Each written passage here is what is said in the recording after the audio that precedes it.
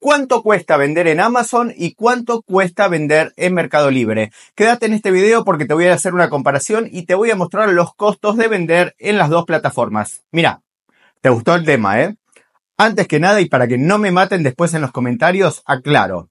Hoy es 8 de octubre, los precios que te voy a pasar son a hoy, 8 de octubre. Vamos a comparar Amazon Estados Unidos, los valores te los voy a dar en dólares contra Mercado Libre Argentina y los valores, por supuesto, te los voy a dar en pesos. Dicho esto, vamos. Bien, vamos a empezar por Amazon. Amazon de movida tiene dos planes de venta. El plan individual, como lo ves acá, que sale 99 centavos de dólar por unidad vendida y el plan profesional que te sale 39 99 dólares y acá no te cobran por unidad vendida y este plan tiene un montón de beneficios más como lo podés ver acá.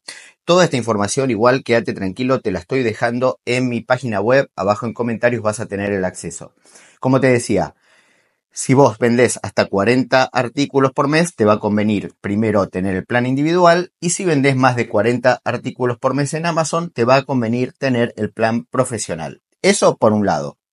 Por otro lado, vas a pagar un porcentaje por cada artículo vendido. Esto tiene que ver, según el tipo de artículo que sea, vas a pagar un porcentaje o un monto mínimo, lo que sea mayor. Por ejemplo, en el caso de los electrodomésticos vas a pagar el 15% si el artículo vale o cuesta hasta 300 dólares. Si supera los 300 dólares, pagas el 8%.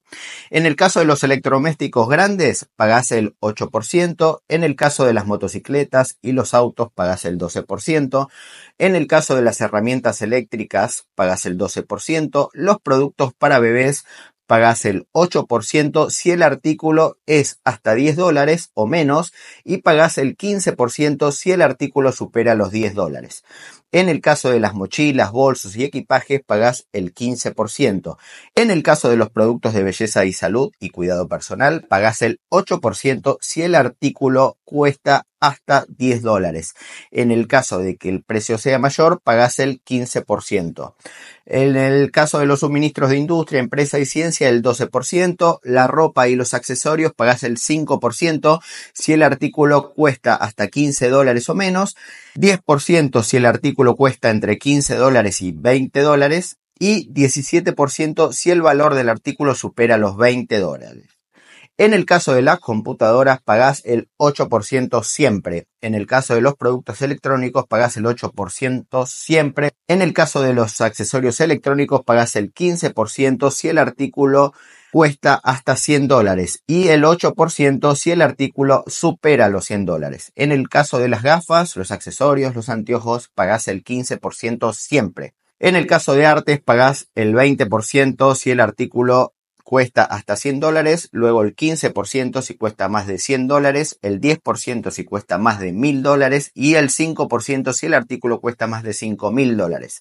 En el caso de los calzados pagas el 15%, en el caso de los muebles pagas el 15%, las tarjetas de regalo que también se pueden comercializar en Amazon pagas el 20%, en el caso de los productos de alimentación, pagas el 8% si el producto cuesta hasta 15 dólares y pagarías el 15% si el producto supera los 15 dólares.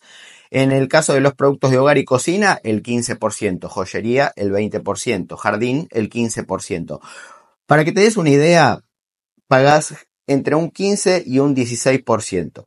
Ahora vamos con Mercado Libre. ¿Cuánto cuesta vender en Mercado Libre? Y acá vamos a hablar de los artículos en general. En general, Mercado Libre hoy te cobra por unidad vendida, si el producto cuesta hasta 12 mil pesos, te cobra 900 pesos. Si el producto cuesta de más de 12 mil pesos hasta 28 mil pesos, Mercado Libre por unidad vendida te cobra 1.800 pesos. Eso es un costo fijo que se paga siempre. Si el producto supera los 28 mil pesos, ese costo fijo no se paga. Eso por un lado. Por el otro, Mercado Libre te va a cobrar una comisión de entre el 12 y el 16,5% según la categoría del producto. Eso en lo que tiene que ver con los costos de venta puros de Mercado Libre.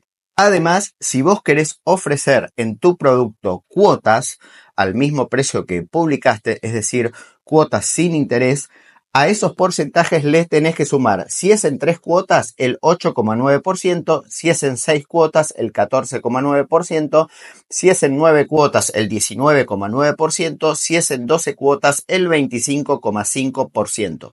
También tenés el programa Cuota Simple, que esto aplica para tres cuotas y seis cuotas únicamente.